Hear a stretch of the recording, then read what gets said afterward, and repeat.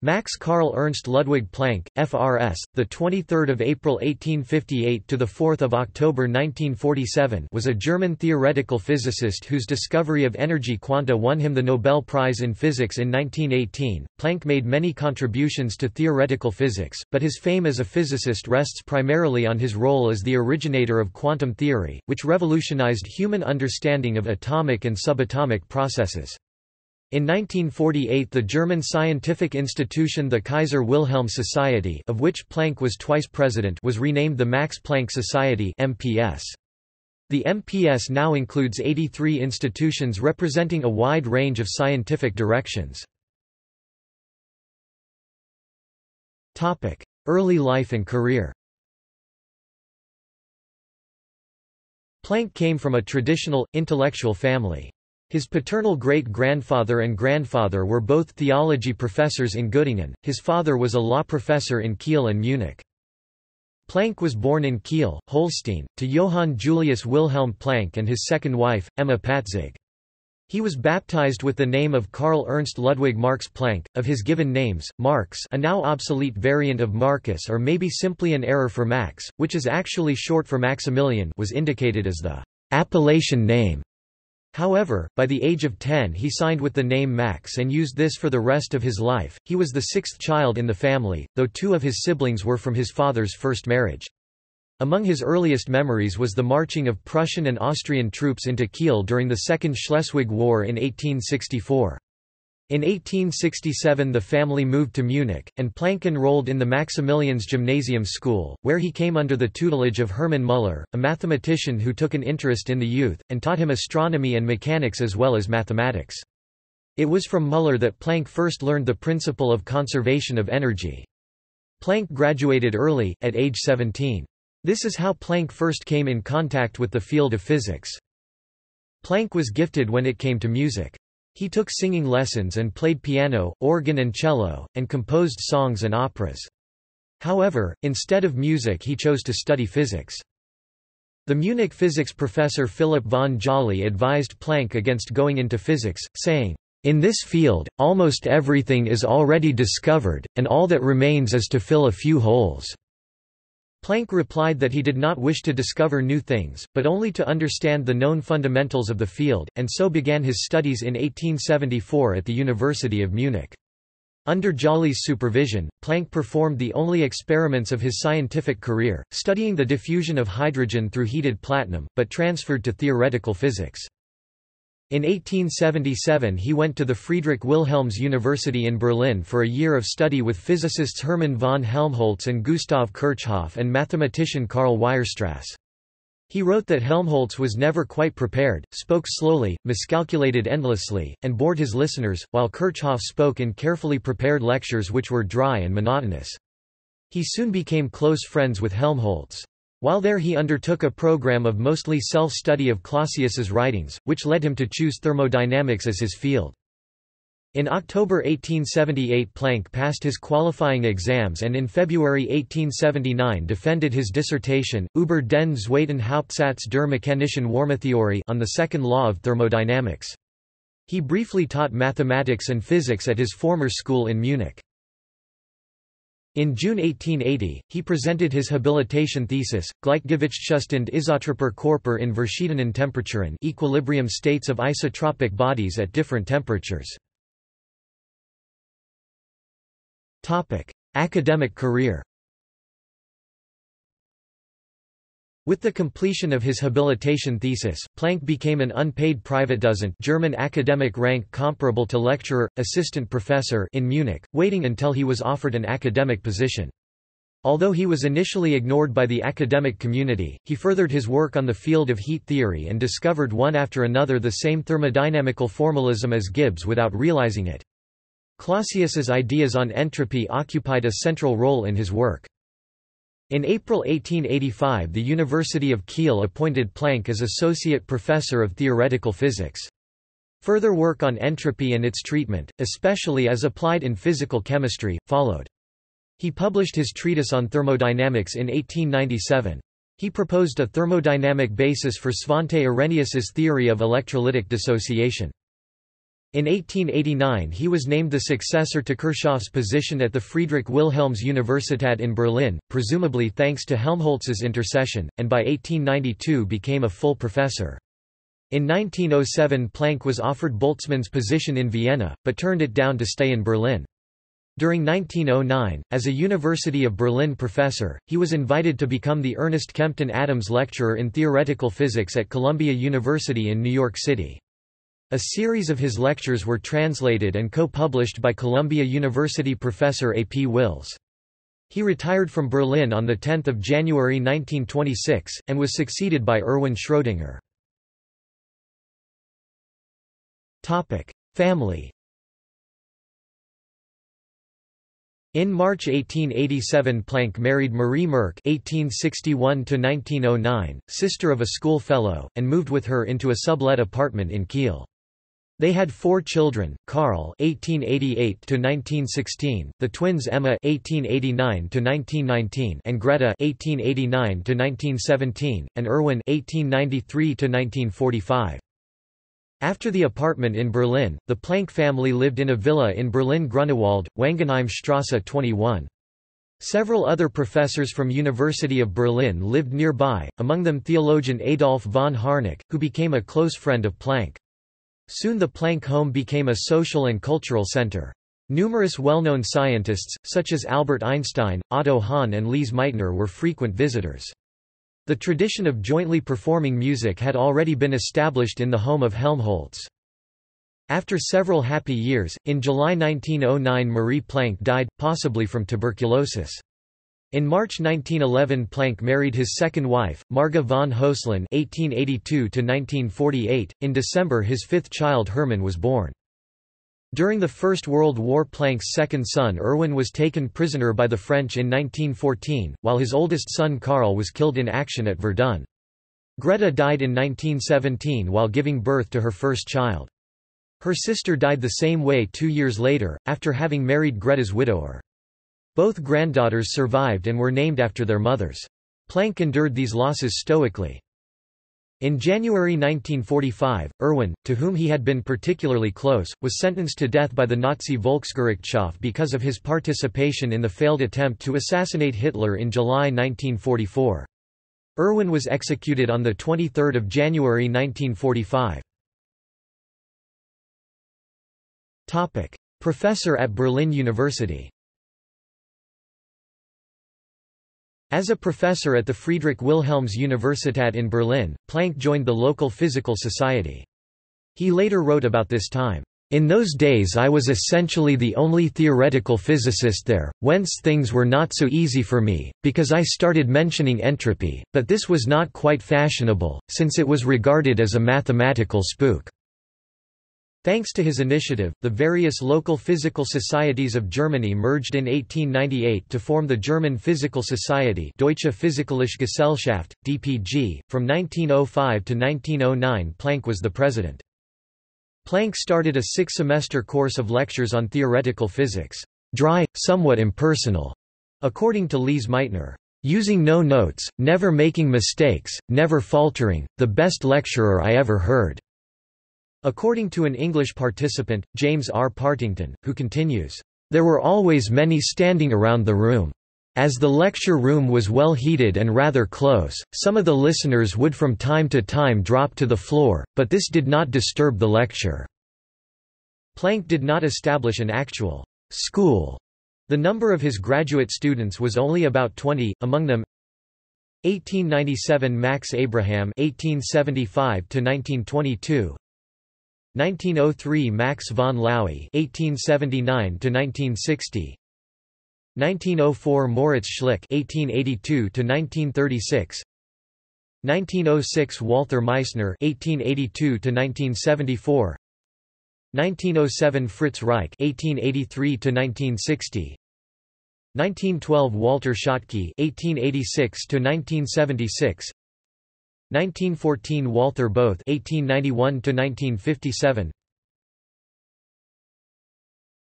Topic: Black body radiation.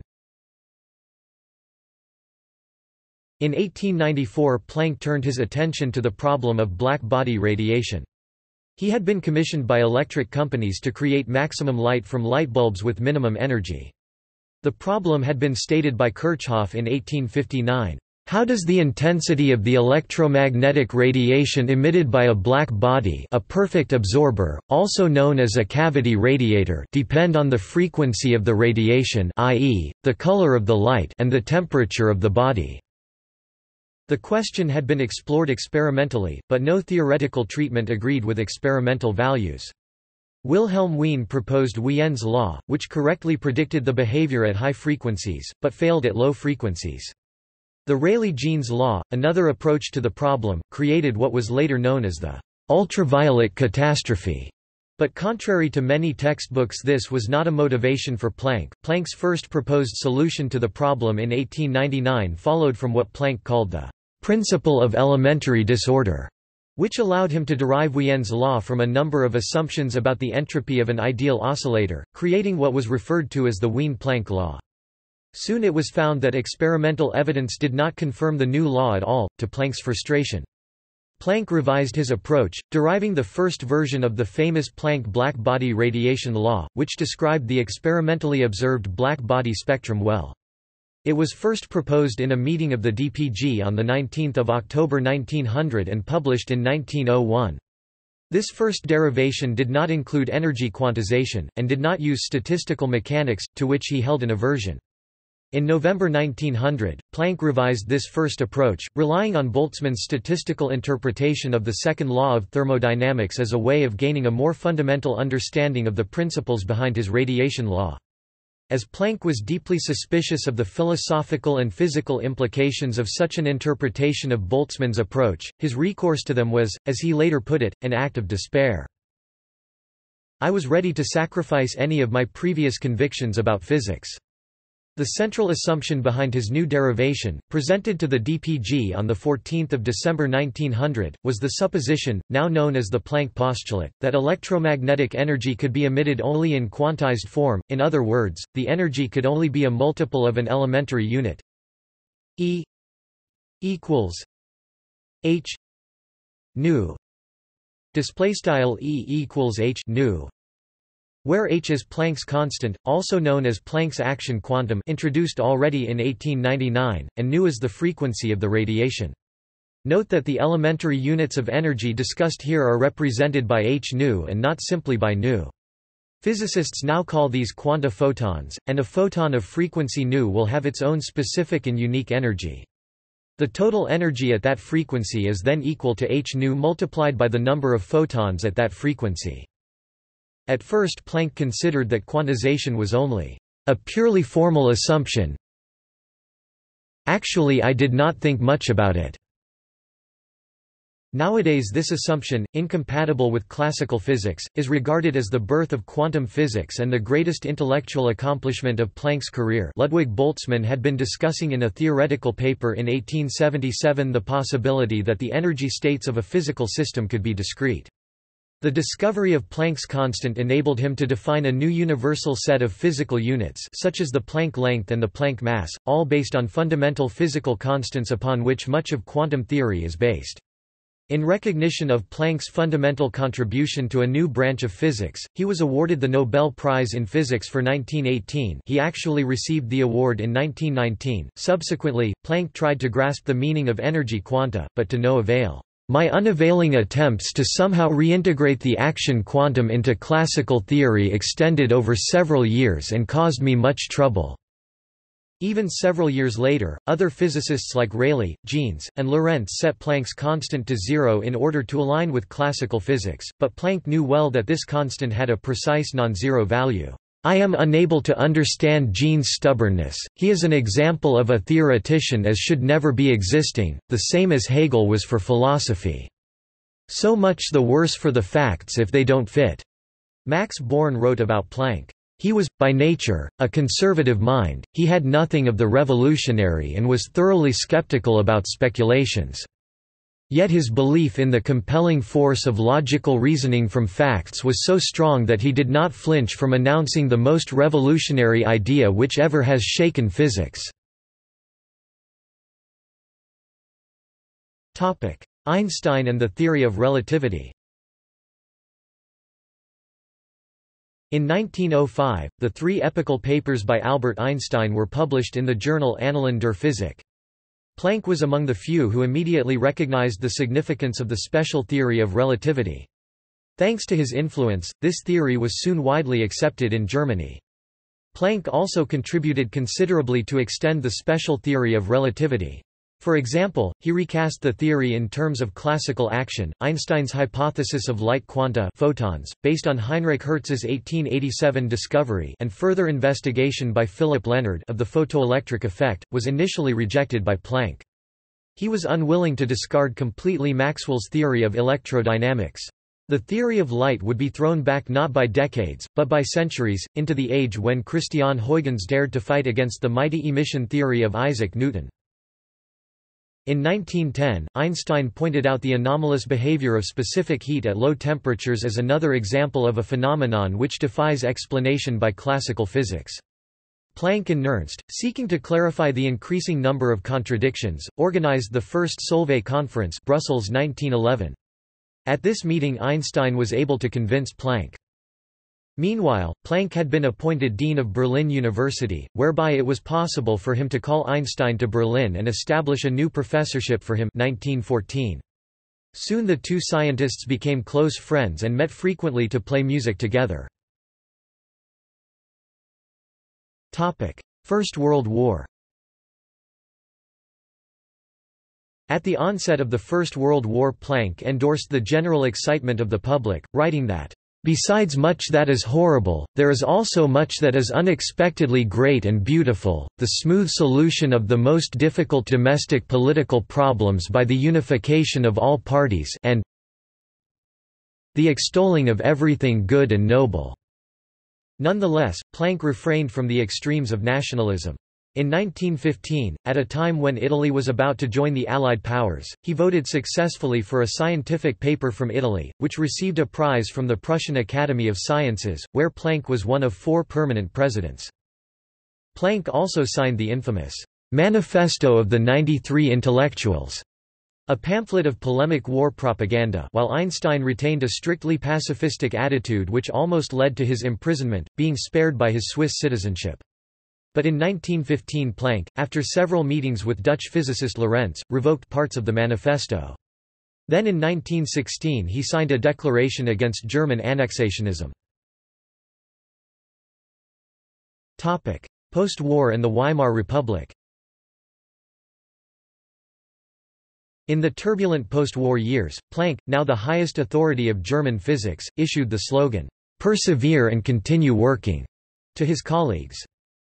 In October 1920 he and Fritz Haber established the Notgemeinschaft der Deutschen Wissenschaft emergency organization of German science, aimed at providing financial support for scientific research. A considerable portion of the money the organization would distribute was raised abroad. Planck also held leading positions at Berlin University, the Prussian Academy of Sciences, the German Physical Society and the Kaiser Wilhelm Society which in 1948 became the Max Planck Society. During this time economic conditions in Germany were such that he was hardly able to conduct research. In 1926 Planck became a foreign member of the Royal Netherlands Academy of Arts and Sciences. During the interwar period, Planck became a member of the Deutsche Volkspartei German People's Party, the party of Nobel Peace Prize laureate Gustav Stresemann, which aspired to liberal aims for domestic policy and rather revisionistic aims for politics around the world. Planck disagreed with the introduction of universal suffrage and later expressed the view that the Nazi dictatorship resulted from the ascent of the rule of the crowds. Quantum mechanics At the end of the 1920s Bohr, Heisenberg and Pauli had worked out the Copenhagen interpretation of quantum mechanics, but it was rejected by Planck, and by Schrödinger, Laue, and Einstein as well. Planck expected that wave mechanics would soon render quantum theory—his own child—unnecessary. This was not to be the case, however. Further work only cemented quantum theory, even against his and Einstein's philosophical revulsions. Planck experienced the truth of his own earlier observation from his struggle with the older views in his younger years. A new scientific truth does not triumph by convincing its opponents and making them see the light, but rather because its opponents eventually die, and a new generation grows up that is familiar with it. Nazi dictatorship and the Second World War When the Nazis came to power in 1933, Planck was 74. He witnessed many Jewish friends and colleagues expelled from their positions and humiliated, and hundreds of scientists emigrated from Nazi Germany. Again he tried to persevere and continue working, and asked scientists who were considering emigration to remain in Germany. Nevertheless, he did help his nephew, the economist Hermann Kranold to emigrate to London after his arrest. He hoped the crisis would abate soon and the political situation would improve. Otto Hahn asked Planck to gather well-known German professors in order to issue a public proclamation against the treatment of Jewish professors, but Planck replied, "'If you are able to gather today thirty such gentlemen, then tomorrow 150 others will come and speak against it, because they are eager to take over the positions of the others.' Under Planck's leadership, the Kaiser Wilhelm Society KWG avoided open conflict with the Nazi regime, except concerning Fritz Haber. Planck tried to discuss the issue with Adolf Hitler but was unsuccessful. In the following year, 1934, Haber died in exile. One year later, Planck, having been the president of the KWG since 1930, organized in a somewhat provocative style an official commemorative meeting for Haber.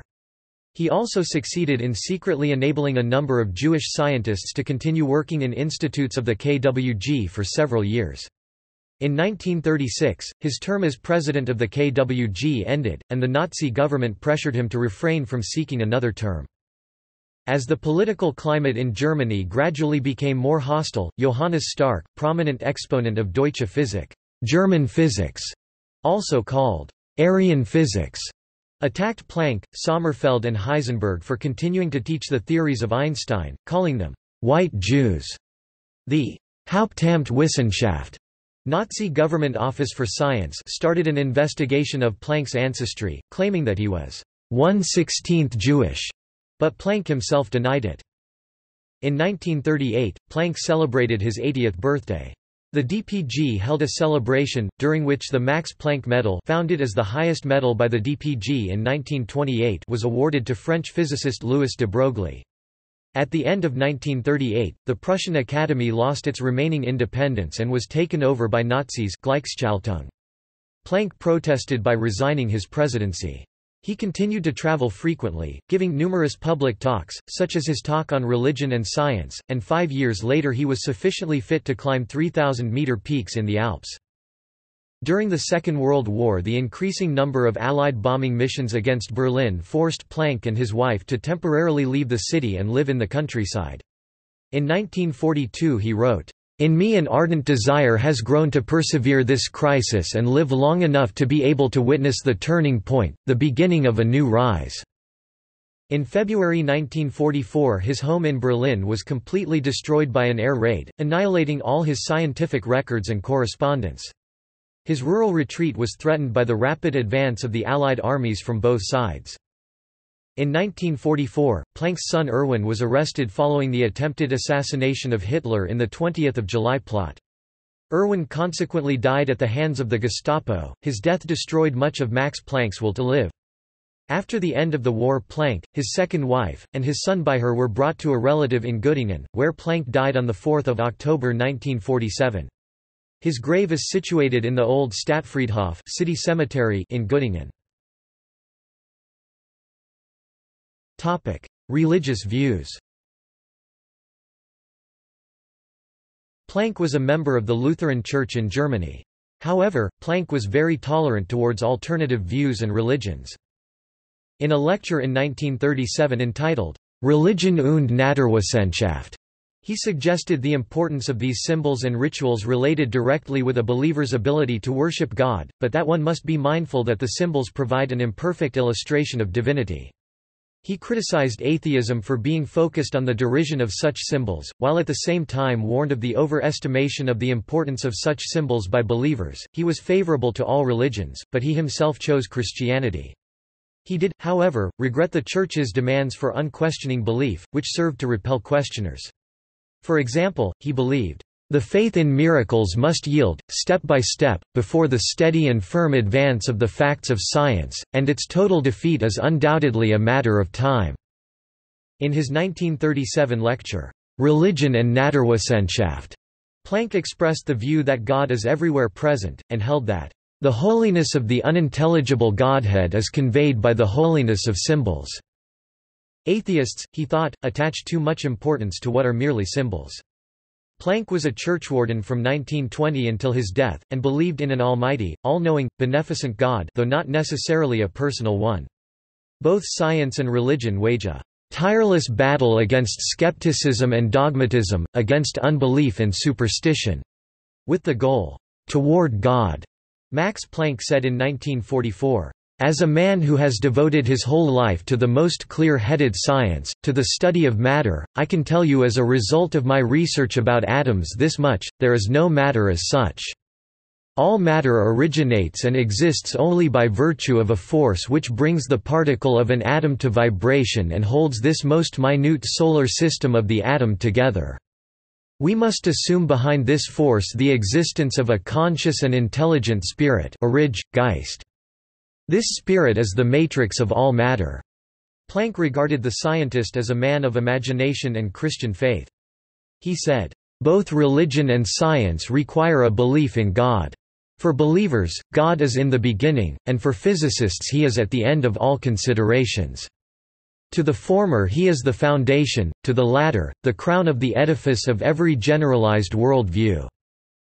On the other hand, Planck wrote, to believe means to recognize as a truth, and the knowledge of nature, continually advancing on incontestably safe tracks, has made it utterly impossible for a person possessing some training in natural science to recognize as founded on truth the many reports of extraordinary occurrences contradicting the laws of nature, of miracles which are still commonly regarded as essential supports and confirmations of religious doctrines, and which formerly used to be accepted as facts pure and simple, without doubt or criticism. The belief in miracles must retreat step by step before relentlessly and reliably progressing science and we cannot doubt that sooner or later it must vanish completely." Later in life, Planck's views on God were that of a deist.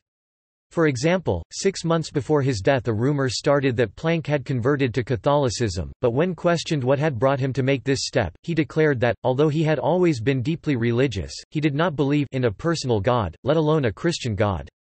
Topic publications Planck, M. 1900a. Über eine Verbesserung der Wienschen Spektralgleichung.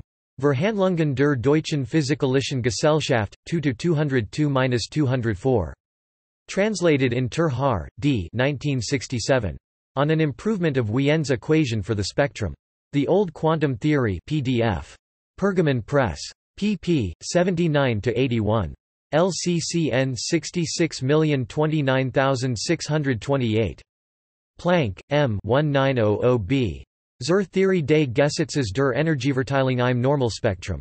Verhandlungen der Deutschen Physikalischen Gesellschaft, 2–237. Translated in Ter D. 1967. On the Theory of the Energy Distribution Law of the Normal Spectrum. The Old Quantum Theory PDF. Pergamon Press. p. 82. LCCN 66029628. Planck, M. 1900c. Entropie und Temperaturstrahlender Wärme Entropy and temperature of radiant heat. Annalen der Physik, 306 719–737. Bibcode, 1900 ANP, .306, 719 p. doi, 10.1002, ANDP.190030600410. Planck, M. 1900d. Über irreversible Strahlungsvorgänge on irreversible radiation processes. Annalen der Physik, 306 69–122. Bibcode, 1900 ANP, .306, 69 p. doi, 10.1002, ANDP.190030601005. Planck, M. 1901. Über das Gesetz der Energieverteilung im Normalspektrum. Annalen der Physik, 309 3, 553–563. Bibcode 1901 ANP.309 553p. doi 10.1002 ANDP.19013090310. Translated in Ando, K. On the Law of Distribution of Energy in the Normal Spectrum PDF. Archived from the original PDF on 6 October 2011. Retrieved 13 October 2011. Planck, M. 1903. Treatise on Thermodynamics. Ogg, A. Transl. London, Longmans, Green & Co. OL 72466991M. Planck, M. 1906. Vorlesungen über die Theorie der Warmestrahlung. Leipzig, J. A. Barth. LCCN 07004527. Planck, M. 1914. The Theory of Heat Radiation. Masius, M., Transl, 2nd ed. p. Blakiston's Son & Co. OL 7154661M. Planck, M. 1915. Eight Lectures on Theoretical Physics. Wills, A. P. Transl. Dover Publications. ISBN 0-486-69730-4.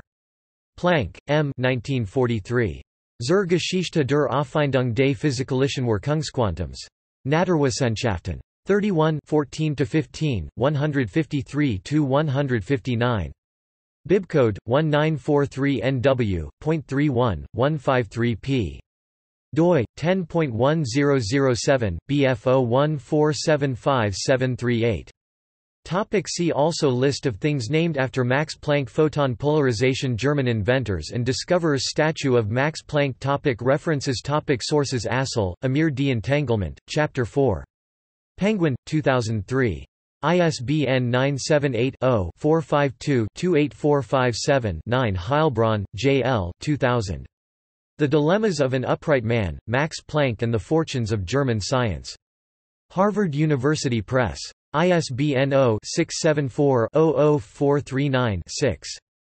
Pickover, Clifford A. Archimedes to Hawking, Laws of Science and the Great Minds Behind Them, Oxford University Press, 2008, ISBN 978-0-19-533611-5 Medawar, Jean, Pyke, David 2012.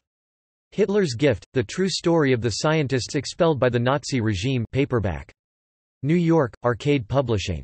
ISBN 978 one 61145 709 4 CS1 maint, multiple names, authors list link. Rosenthal Schneider, Ilse Reality and Scientific Truth, Discussions with Einstein, von Laue, and Planck Wayne State University, 1980. ISBN 0-8143-1650-6 External links Works by Max Planck at Project Gutenberg. Works by Max Planck at Faded Page Canada. Works by or about Max Planck at Internet Archive. Works by Max Planck at LibriVox public domain audiobooks. Annotated bibliography for Max Planck from the Alsos Digital Library for Nuclear Issues. Max Planck – Encyclopaedia Britannica article. Max Planck biography, www.nobel-prize-winners.com Max Planck Institutes of Natural Science and Astrophysics. Cinematic Self-Portrait of Max Planck, Berlin Brandenburgische Akademie der Wissenschaften, 1942 Nobel Biography. Life-Work Personality – Exhibition on the 50th anniversary of Planck's death. Newspaper clippings about Max Planck in the 20th Century Press Archives of the German National Library of Economics ZBW.